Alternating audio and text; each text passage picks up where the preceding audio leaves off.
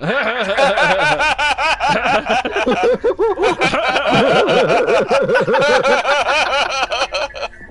like an infection or something. Everybody's got the SR virus.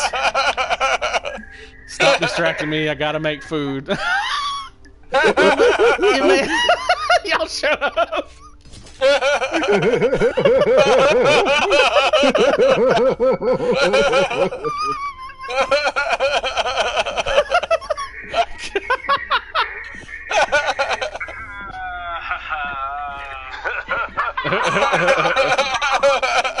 God, people that are just tuning in are gonna think we're all fucking stoners.